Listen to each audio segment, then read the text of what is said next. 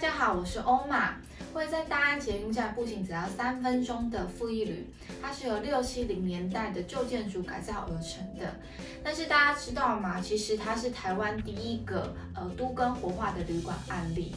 简单来说呢，也就是期间限定。那为什么它的业主愿意砸重金在这个看似不会回本的生意上面呢？接下来呢，就让欧玛来为你分析一下吧。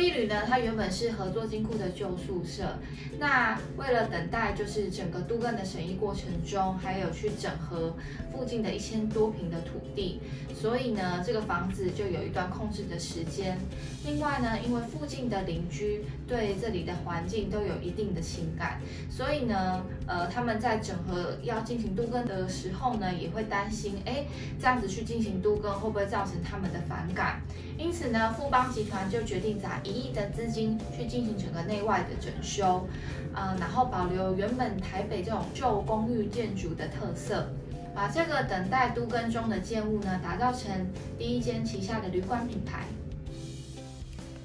富裕旅保留河库宿舍联动式结构，在建筑结构上呢，处处可以看到刻意保留的岁月痕迹，中间设计了三个天井。长廊有充足的自然采光，可以成为展出艺术作品的多用途空间。一楼大厅采开放式的宽敞空间，除了鼓励居民能多多来这里互动，向餐厅提供附近住户特定的优惠，或展览空间不定期举办与社区有关的主题性展览，都是为了塑造更好的邻里关系。富裕旅最特别的地方在于，它是一间如同美术馆的旅店，结合集团富邦艺术基金会的艺术资源，打造 Folio Gallery 无墙美术馆。在饭店里有许多艺术品与房客零距离互动。此外，富裕旅还提供艺术家两个房间，可以长期进驻。旅客于特定的时间呢，可以与这些艺术家面对面。而每个房间也有挂像是五月天、蔡依林等五十五位知名艺人以深邃台北为题所拍摄的摄影作品。其实富裕旅呢，它之所以被称为就是这种期间限定的旅店呢，主要是因为它从二零一六年开始开幕，五到七年之后呢要去进行度更。那其实算到现在的话，也预计就是可能在未来三年内就要必须被拆除。呃，如果我们以富邦投资一亿的资金来看的话，可能要在这个时间内可以把整个装修的成本摊提完，就已经非常的厉害了。因此呢，我们评估富邦的生意算盘是这样打的：第一个呢，透过建物的改造，那可以更去拉近跟邻里之间的关系；第二个呢，呃，运用自己本身呃艺术经营的优势，那可以去对未来这个案子的包装塑造一个更美好的形象；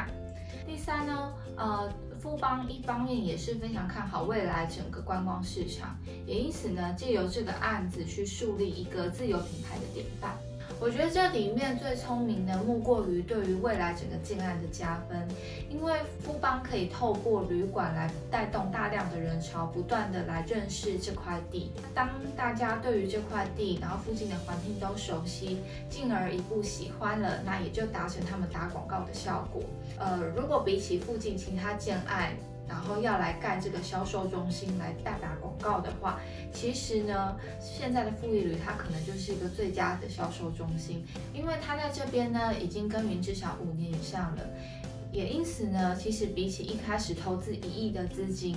那可能它前面几年呢已经有现金流的回收，如果后面呢可以再作为代销中心的话呢，那就是超级省钱又非常好打广告的一个活招牌。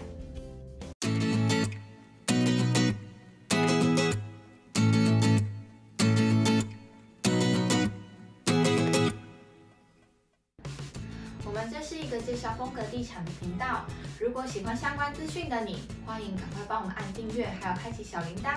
这样子我们就可以将最 stylish 的资讯第一时间分享给你哦。